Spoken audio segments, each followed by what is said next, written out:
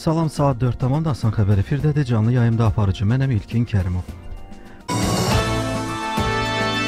Amiyanın Tarix İnstitutunun direktoru akademik Yaqub Mahmudovun Azərbaycan diplomatiyası, Ağqoyunlu və Səfəvi dövlətlərinin Avropa ölkələri ilə əlaqələri kitabı Ankara şəhərində türk dilində çap olunub.